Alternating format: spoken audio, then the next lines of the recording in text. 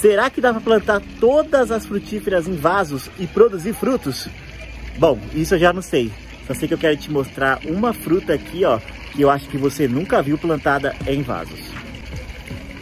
Seja bem-vindo ao Jardim na Laje, eu sou Everton Ramos, agricultor urbano e pessoal, esse aqui é o Jardim na Laje e eu quero mostrar para vocês uma frutífera aqui que é simplesmente incrível.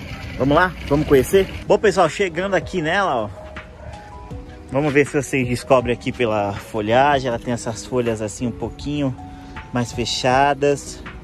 Olha, tá cheia de botões.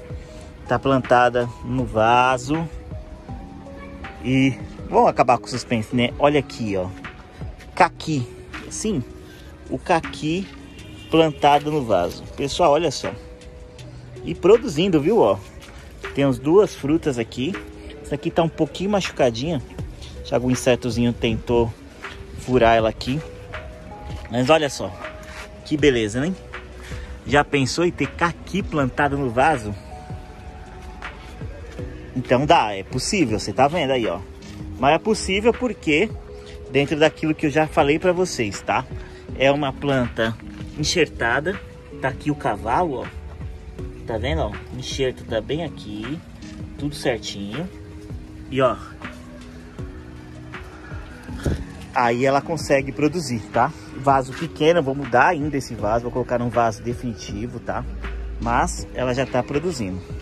É bem bonito. Olha só a parte onde ela deu as folhas, a, a flor aqui, ó. E nasceu fruto. Bem bacana e tá cheia de botões novos também, ó.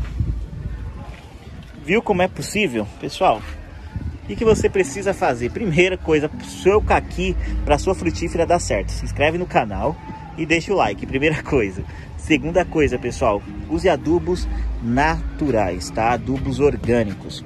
Eu vou aqui até adubar ela hoje com chorume de composteira para vocês verem, tá? Ó, bem bonito e mostrando aqui que dá para você ter, tá? Caqui também plantado no vaso. Vamos lá, ó.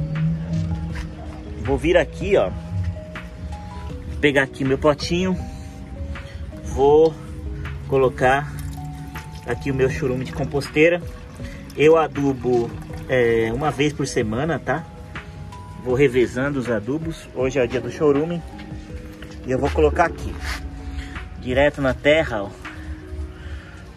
E tá tudo certo.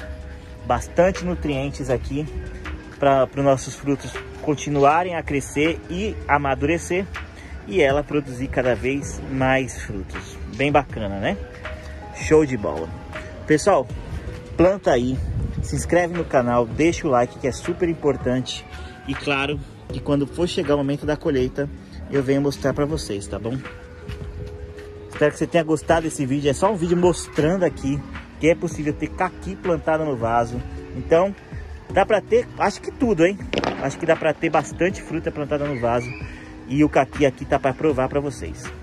Deixa um like, se inscreve no canal. Deus abençoe você e sua família grandemente.